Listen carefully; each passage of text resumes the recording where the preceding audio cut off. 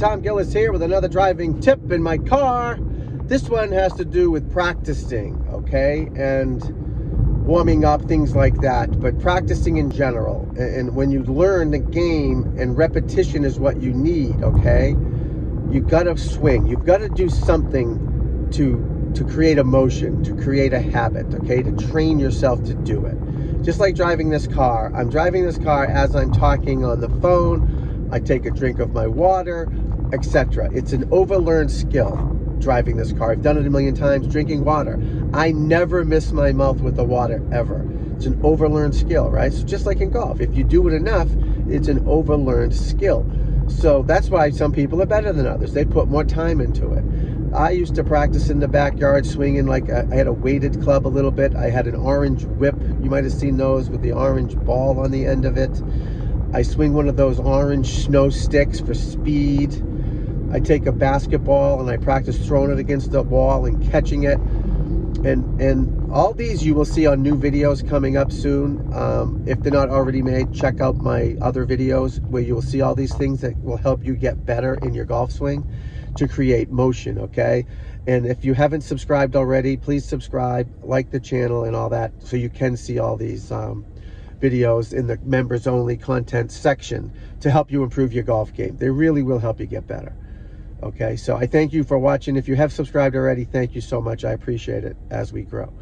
But back to the, to the, the training and going to the driving range, you know.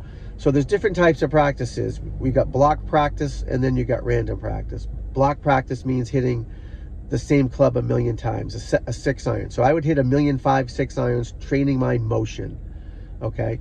And then I would do random practice to different targets with that right motion. But if I don't have the right motion, I can't have the right um, distance control. And the distance control will come with the better motion. You know what I mean? So you got to have both.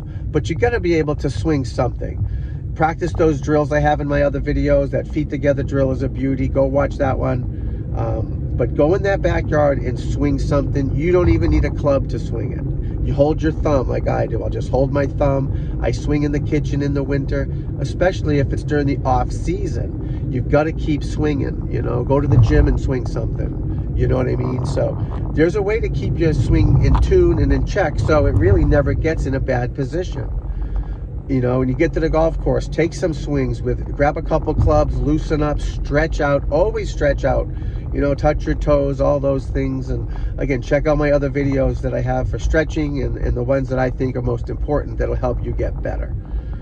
But um, if you can't get to the driving range, go in that backyard, swing a club, you know, do the, all those drills I have you do not need a golf club to improve your motion. You do need a golf club to have the ball which direction it's going, of course, and all that stuff. If you have a net, that's fantastic. Nowadays, people have um, these Opti Golfs or these um, simulators in their house. If you're lucky to have one of those, fantastic. Make sure you use it right, though. Make sure you know where the ball's going, where it's hitting on the net, because these can be, I mean, on the screen or net these can be deceiving. Sometimes these are jacked up to make you think you're hitting them further than you are.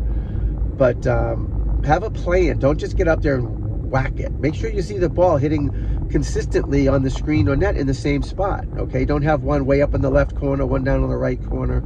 Just don't do that. Have a consistent plan that's going to help you get better. You know what I mean? So keep swinging that club, even if you don't get to the driving range. Please keep keep moving. If you take a lesson, you've got to really work on that and think about what we've told you to fix. If it's your grip, that's something you can do watching the hockey game or the baseball game. Just work on getting used to holding it properly.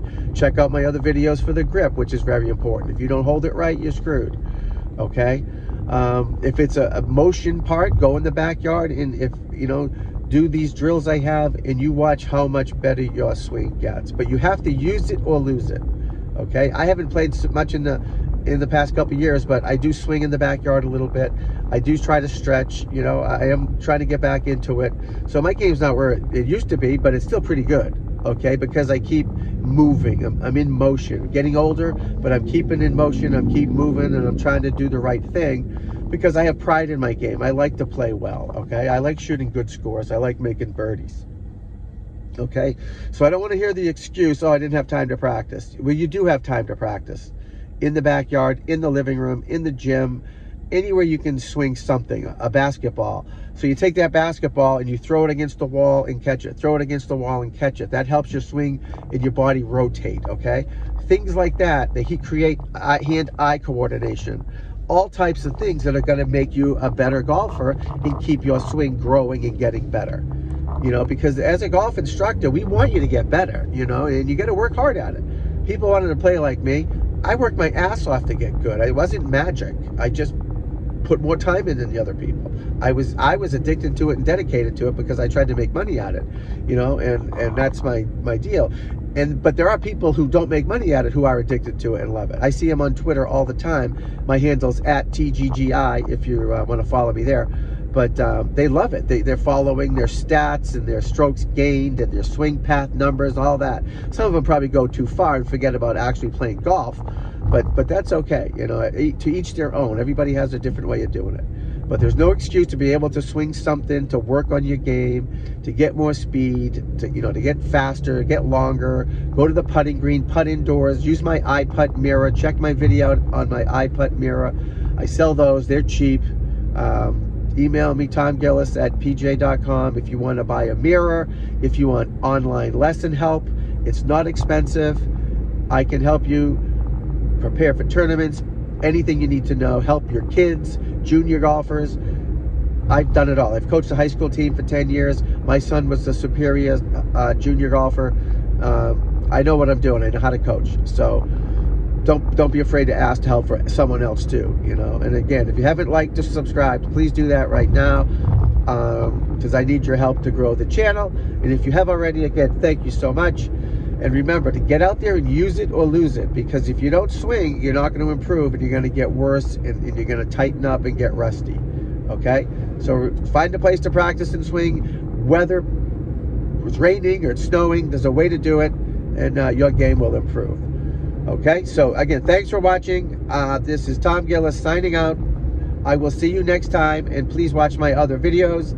Thanks for uh, tuning in. Bye now.